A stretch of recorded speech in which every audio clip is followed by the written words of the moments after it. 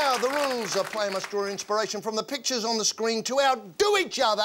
And tonight, let's find out who is the most popular. Well, Frank, interesting to see you here. Yeah, I'm a bit surprised to see you here myself at the popular club. Yeah. It's funny.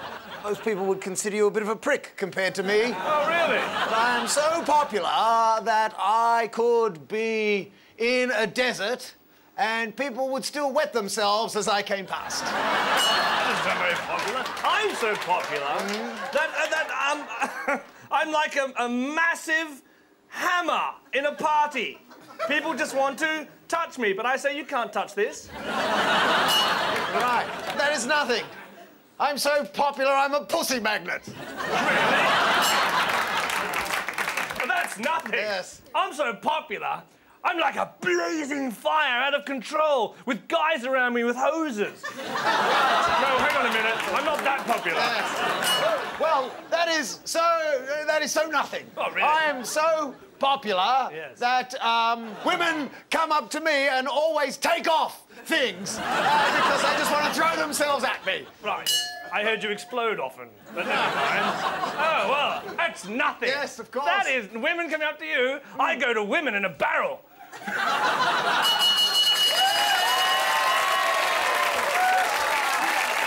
What a brilliant. That's nothing. OK, clear the mat, you guys, and now we cross back to the assessor of the lesser again and the scores for that particular round. I'll go first to my audience judge, Reese. Reese? Um, I don't know really how to say this. I'm mm. liking blue. Oh! I'm liking red. Oh! Do you want to say it in Afghani? No, I can't. I'm not that good. Okay. So I'll just have to say I like red. Kimberley, red or blue? Whoa! One and one. For me, it's got to be the red too. Back it up. Oh, ladies and gentlemen, it's all square going into the final round. And of course, in the final round, it's a celebrity serenade here on Comedy Slapdown. And as I look around the TP of Hee Hee, I spot one celebrity who we can serenade after the break. The celebrity serenade of Ms. Kimberley Davies right here, the final round on Comedy Slapdown.